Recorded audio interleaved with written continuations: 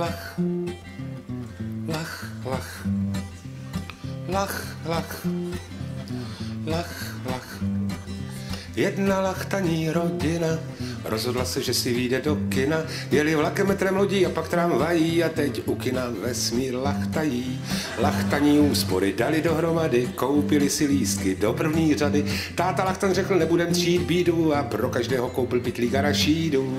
Lach, lach, mm, lach, lach, mm, lach, lach, mm, lach, lach, mm. Na jižním polu je nehezky a tak lachtani si vyjeli na grotesky.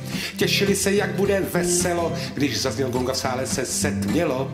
Co to ale vidí jejich lachtaní zraky, sníh a mráz a sněhové mraky. Pro veliký úspěch změna programu dnes dáváme film ze života lachtanů. Lach, lach je, lach, lach je, lach, lach je, lach, lach je.